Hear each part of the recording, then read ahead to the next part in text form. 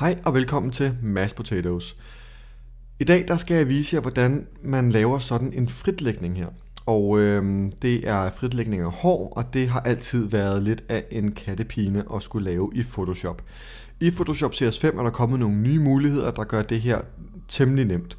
Øh, den her øh, fritlægning, du ser her, den har jeg lavet på et par minutter, og øh, jeg kunne sagtens gøre den, øh, gøre den bedre endnu, men, men bare for at give jer en, øh, en idé om, hvor langt man kan komme på et par minutter i CS5.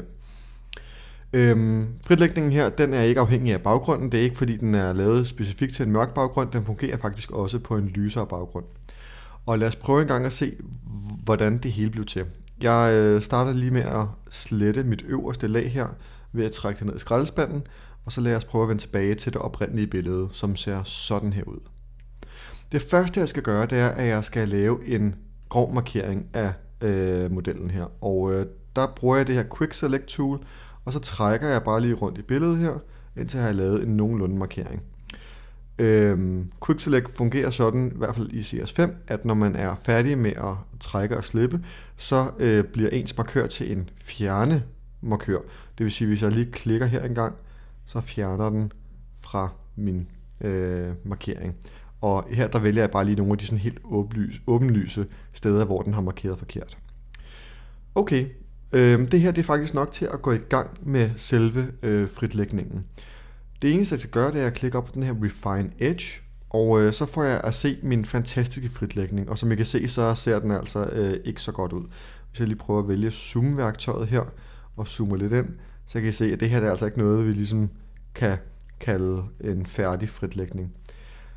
Derfor så øh, må man sy til det værktøj, der ligger øh, lige nede under zoom-værktøjet her, nemlig det her øh, Smart Radius Selection Tool. Og øh, måden den fungerer på, det er, at man, øh, man maler simpelthen der, hvor at man ved, der er en overgang. Og øh, hvis vi lige prøver at køre den en tur over her, og slipper, så kan I se, hvordan den nu laver sådan en lidt mere øh, finmasket øh, fritlægning. Det er øh, godt at vide, at hvis man trækker den øh, for langt, så kan du godt risikere, at du får, som I kan se her, sådan lidt en lidt transparent øh, fritlægning. Og det er jo egentlig ikke lige det, jeg vil have, i hvert fald ikke lige her. Øh, så derfor, så øh, jeg trykker lige Command-Z for undo. Øh, så sørg for kun at male der, hvor at du kan se noget, noget blåt, der skinner igennem. I det her tilfælde nu, hvor det er en blå baggrund, jeg fritlægger op mod. Fordi der gør det ikke så meget, at vi kan se noget af baggrunden igennem. Sådan her. Og som I kan se, så skal jeg ikke ind og vælge hver enkelt hår. Jeg kan simpelthen bare male i sådan nogle plamager her. Der hvor jeg gerne vil have, at der skal... Der hvor jeg gerne vil have min fritlægning. Sådan her.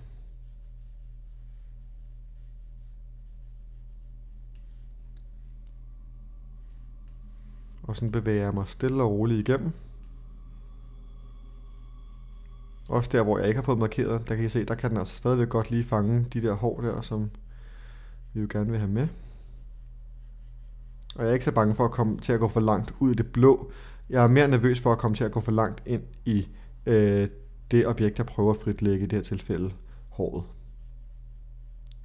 Og øh, her der tror jeg så, at jeg vil skifte til en lidt mindre pensel, og øh, det kan jeg bare styre heroppe. Og så ved at holde alt nede. Nej, undskyld, det behøver jeg selvfølgelig ikke. Øh, her der skal jeg stadigvæk bare male med min pensel. Der burde jeg kunne få noget af den rigtige baggrund tilbage her.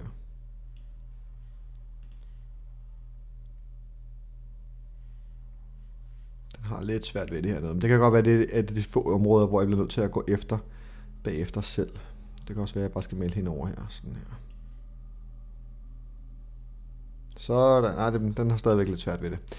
Øhm, men i store træk, så tror jeg godt, I forstår fremgangsmåden. Og øh, det kan være, at I nu sidder og tænker, jamen øh, det er da meget fint, at, fri, at det er fritlagt osv., men jeg kan stadigvæk se den blå farve igennem det her.